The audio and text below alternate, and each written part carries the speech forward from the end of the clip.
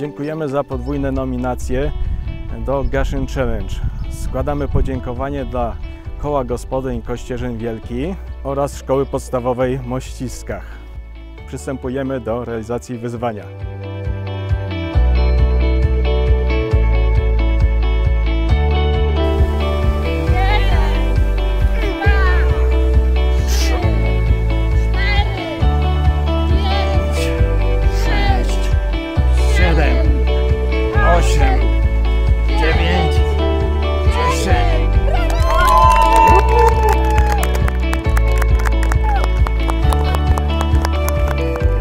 Wyzwanie rzucamy do szkoły podstawowej nr 1 w Chodzieży oraz do szkoły podstawowej nr 1 w Pile i do Rady Rodziców działających przy szkole podstawowej imienia Henryka Sienkiewicza w Falmierowie.